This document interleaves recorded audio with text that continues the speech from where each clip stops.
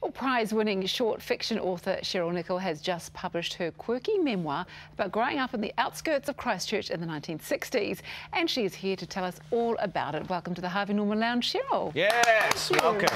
So nice to have you here.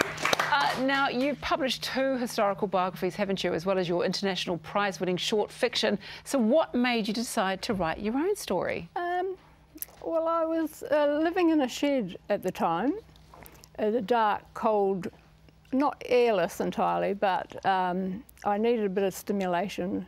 So I thought, well, I'll do a New Zealand book this time. Um, and it had to be a fun book because I, I, my other books are quite serious. Um, so that's sort of really how it came about. Okay, but I need you to back up slightly. you were living in a cold, dark shed. What, what, were you doing? Where were you? well, um, we'd bought a property when we were still in Australia in North Canterbury off Trade Me sight unseen.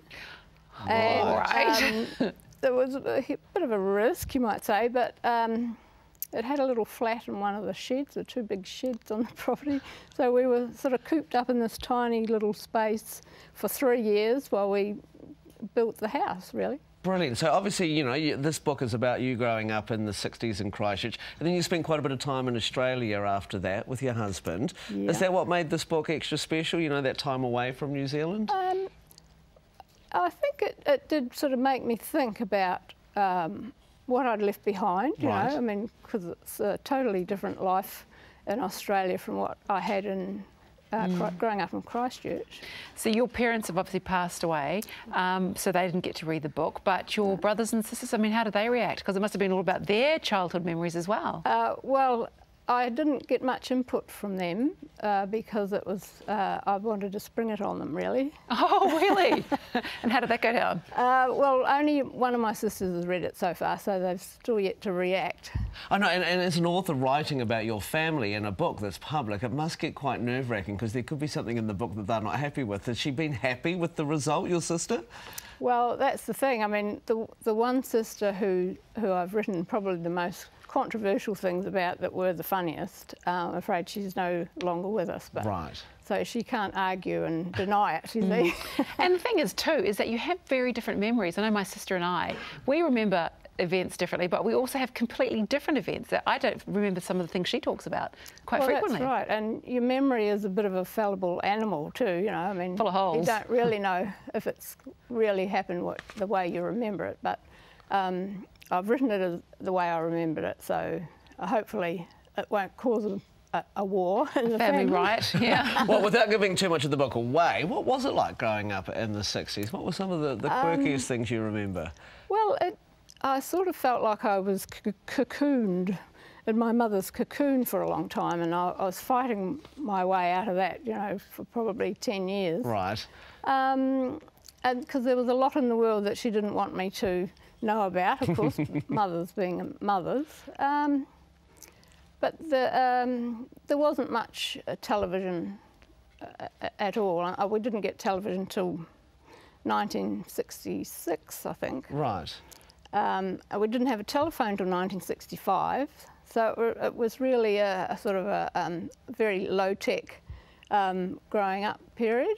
Mm. Quite different to today, isn't it? Imagine putting, imagine time traveling someone from today, mm. a child, back into that era. It would be. Yes, uh, they wouldn't know what to do. They wouldn't know what to do with themselves, would they? So, what did you do with yourself?